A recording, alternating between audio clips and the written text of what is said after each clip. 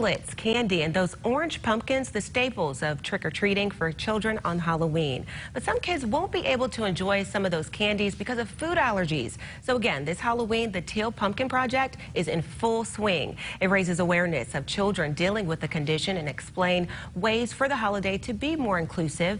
The group Food Allergy Research and Education encourages homeowners to put a teal pumpkin on their doorstep. That alerts families that they are that there are non-food treats like small toys available to those kids. The group says it's joined forces with other food allergy groups to boost this year's effort.